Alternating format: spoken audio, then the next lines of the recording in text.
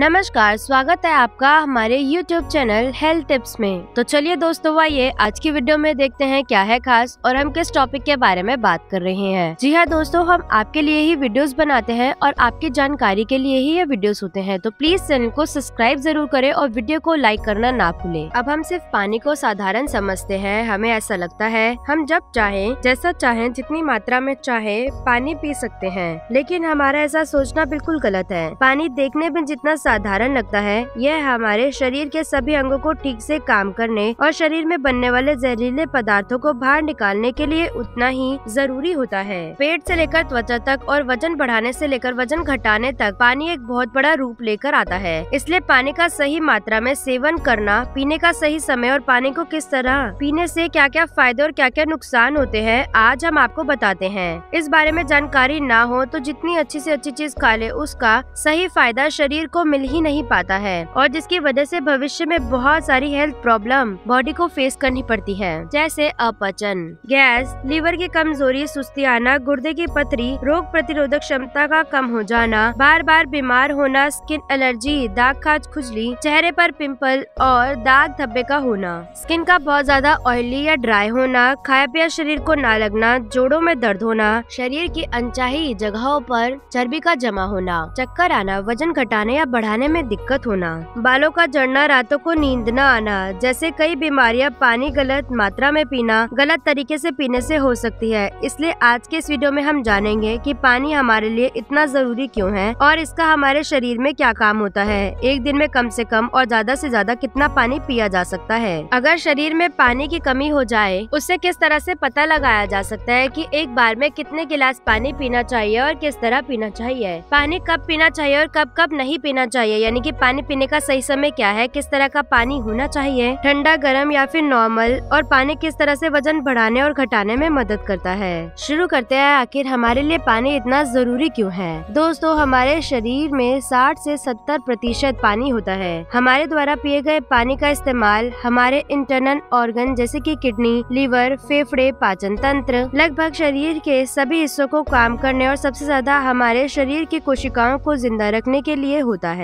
अब सवाल ये उठता है कि ज़्यादा से ज़्यादा कितना पानी पिया जा सकता है? और अगर आपके शरीर में पानी की कमी हो गई तो उसे किस तरह से पता लगाया जा सकता है? दोस्तों, शरीर में पानी की कमी होते ही पेशाब का रंग पीला पड़ जाता है। पाचन शक्ति कमज़ोर होने लगती है, चेहरे की स्किन धीरे धीरे रूखी, बेजान और ढीली पड़ने लगती है। और शुरू में ही पानी पीने के सही तरीके पर ध्यान न दिया जाए तो यह भविष्य में गंभीर बीमारी का रोग बन जाता है। इस दिन रोज नियमित मात्रा में पानी का पीना ज़रूरी होता है। अब बात आती है कि दिन भर में कितना पानी पीना चाहिए और पानी किस तरह का होना चाहिए। गर्म, ठंडा या नॉर्मल दोस्तों, इसके लिए हमें ये जानना होगा पानी में क्या क्या होता है और कौन कौन सी प्रॉब्लम्स में यह फ़ायदा पहुँचा सकता है। दोस्तों, पानी में ज़ीरो कैलोरी होने पर भी हमारे शरीर को हाइड्रेट कर शरीर से जहरीले पदार्थों को बाहर निकालने में मदद करता है। स्किन को साफ़ रखता है, दिमाग, ताकत, पाचन क्रिया, आँख, हड्डी और लगभग हमारे शरीर के सभी अंगों को ठीक तरह से काम करते रहने में हमारी मदद करता है। इसलिए हमारे लिए पानी इतना ज़रूरी होता है कि चाहे खाए बिना कोई व्यक्ति लंबे समय तक रह ले, लेकिन पानी के बिना कुछ दिन भी जीवित रह पाना संभव नहीं है। क्योंकि मल, पसीना, पेशाब और सांस लेने की प्रक्रिया में दो लीटर पानी हमारे शरीर से बाहर निकल जाता है, जिसे रिस्टोर करना बहुत ज़रूरी होता है। वैसे तो व्यक्ति को दिन भर में कितना पानी पीना चाहिए, इस व्यक्ति की सेहत जो वहाँ रहता है, उस जगह का मौसम जहाँ पर वो रहता है, उसकी फ़िज़िकल एक्टिविटीज़ पर निर्भर करता है। सामान्य व्यक्ति को दिन भर में ढाई से तीन लीटर पानी ज़रूर पी लेना चाहिए। एवरेज साइज़ के गिलास से 12 गिलास होते हैं और गर्मी के मौसम में क्योंकि ज़्यादा पसीना निकलता है तो पानी की मात्रा बढ़ाई जा सकती है। जो लोग एक्सरसाइज करते हैं, उन्हें भी आम लोगों के मुकाबले ज़्यादा पानी पीना चाहिए, क्योंकि उनके शरीर में पानी की खपत ज़्यादा मात्रा में होती है। जहन में सवाल उठता है, ज़रूरत से ज़्यादा मात्रा में पानी पी लेने से कोई नुकसान भी हो सकता है क्या? इसका जवाब बहुत ही सिंपल है, कोई भी चीज़ ज़्यादा मात्रा में नुकसान देती है। ज़्यादा मात्रा में पानी पीने से हमारी किडनी का काम बढ़ जाता है और खून में सोडियम के लगातार कम होने के चांसेस बढ़ जाते हैं, लेकिन ऐसा बहुत कम होता है क्या अक्सर लोग इतना भी पानी नहीं पी पाते जितना कि पानी पीने की लिमिट होती है। ऐसा नुकसान तब होता है जब कोई व्यक्ति चार पाँच लीटर पानी पी ले। एक बार में कितने गिलास पानी पीना चाहिए और किस तरह से पीना चाहिए? लोगों को लगता है पानी को जैसा चाहे, जब चाहे पिया जा सकता है। लेकिन ऐसा सोचना बिल्कुल भी सही नहीं है, क्योंकि एक ही तरह के पानी को अलग अलग तरह से पीने से अलग अलग तरह के असर होते हैं। इसलिए पानी हमेशा बैठकर और धीरे धीरे पीना चाहिए, जैसे पानी को मुँह में रखा और चार पाँच सेकंड तक इधर उधर घुमाया और फिर निकले।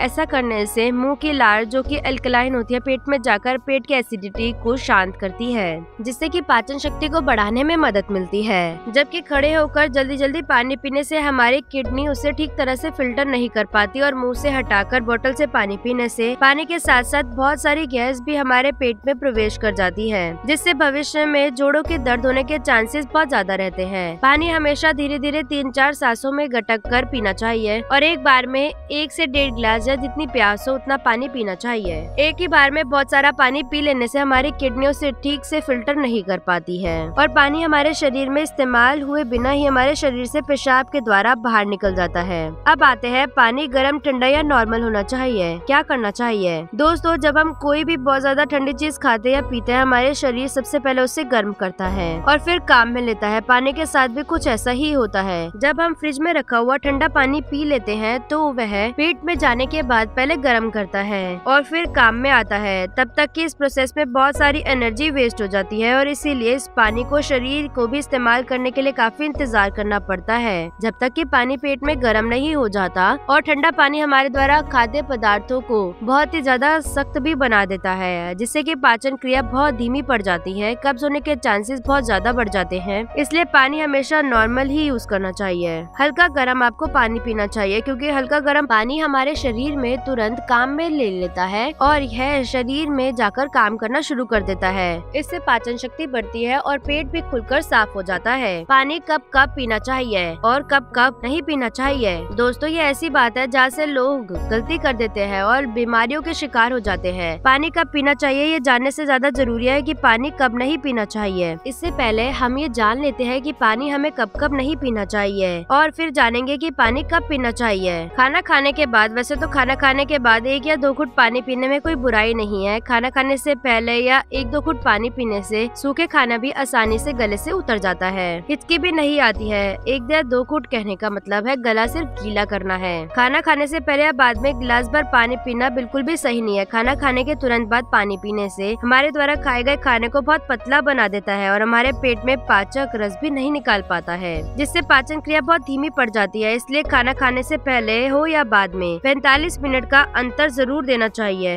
और रात में सोने से पहले अचानक नींद खुलने पर पानी पीकर सोएँ। दिन के समय पानी हमारे लिए जितना फ़ायदेमंद होता है, उसके ठीक उल्टा रात में ज़्यादा पानी पीने से नुकसान भी हो सकता है। सोते वक्त हमारा शरीर एक्टिव नहीं रहता है, जिससे पानी हमारे शरीर में इस्तेमाल हुए बिना ही किडनी में फ़िल्टर होने के लिए पहुँच जाता है। जहाँ ये हमारी किडनी को बहुत ज़्यादा नुकसान पहुँचाता है और बार बार टॉयलेट जाने की ज़रूरत भी पड़ सकती है जिससे की दोबारा नींद आने में बहुत मुश्किलों का सामना करना पड़ सकता है। दिन में ज़्यादा से ज़्यादा पानी पीने की कोशिश करनी चाहिए। दिन में ही पानी की लिमिट को पूरा करने की कोशिश करें। और साथ ही पानी पीने के बीच में 45 मिनट से लेकर एक घंटे का गैप हमेशा होना चाहिए, क्योंकि जल्दी जल्दी पानी पीते रहने से पानी हमारे शरीर में इस्तेमाल हुए बिना ही पेशाब के माध्यम से बाहर निकल जाता है। और जल्दी जल्दी पेशाब आने की समस्या भी शुरू हो सकती है। इसलिए जब आपको लगे कि आपका पेशाब पीला नहीं है, बिल्कुल साफ़ है तो इसका मतलब फ़िलहाल आपकी बॉडी को पानी की आवश्यकता नहीं है। पेशाब करने के बाद 15 से 20 मिनट का गैप अवश्य रखें पानी पीने के लिए, ताकि हमारी किडनी को रेस्ट करने का मौका मिल सके। जल्दी जल्दी पानी पीने से बार बार पेशाब आना पड़ता है और पेशाब को रोकने की समस्या शुरू हो सकती है।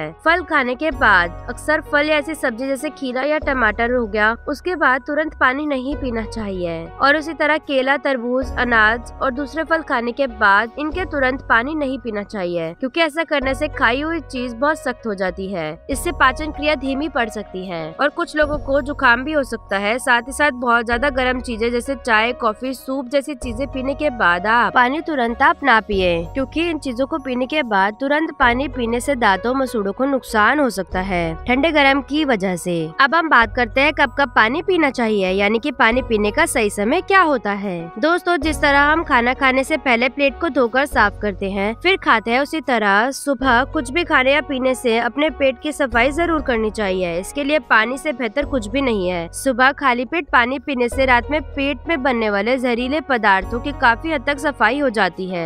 लेकिन जो लोग सुबह पानी पिए बिना ही कुछ भी खाते पीते हैं, बिल्कुल ऐसा ही हो जाता है कि झूठी प्लेट को साफ़ किए बिना आपने खाना खा लिया हो। इसलिए एक से दो गिलास पानी खाली पेट ज़रूर पीना चाहिए। नाश्ता करने से 45 मिनट या एक घंटा पहले ज़रूर आपको पानी पीना चाहिए। उसी तरह रात के समय पानी कम मात्रा में पीना चाहिए। रात में खाना खाने के दो घंटे बाद पानी की जगह दूध का सेवन करना चाहिए। दूध का प्रोटीन सारी रात शरीर को एनर्जी प्रदान करते रहते हैं। उसमें मौजूद दिमाग की नसों को भी शांत करता है और ये अच्छी नींद दिलाने में बहुत ज़्यादा मदद करता है और ये लाभदायक साबित भी होता है। जी हाँ दोस्तों, दिन में आप जब भी पानी पिए, पानी पीने के बीच में लगभग एक घंटे का अंतराल ज़रूर रखें। पानी पीने का खास ख्याल रखें कि दिन में ढाई से तीन लीटर पानी आप अवश्य पी सकें। यह बहुत ज़रूरी है। अगर धूप से होकर आते हैं या रनिंग एक्सरसाइज करते हैं, उस समय गिलास भर के पानी आपको बिल्कुल भी नहीं पीना चाहिए। उस समय हमारे शरीर का टेम्परेचर हाई रहता है। इसलिए उस समय हमें ज़्यादा पानी पीने से हमारे शरीर को फ़ायदे की बजाय नुकसान हो सकता है। और एक्सरसाइज या वेट टेस्टिंग में प्रॉब्लम हो सकती है। इसलिए एक्सरसाइज के दौरान एक चौथाई गिलास पानी पीने से दो तीन घुटी पिए और फिर प्यास लगे तो एक चौथाई गिलास पानी एक दो तीन घुट पी सकते हैं।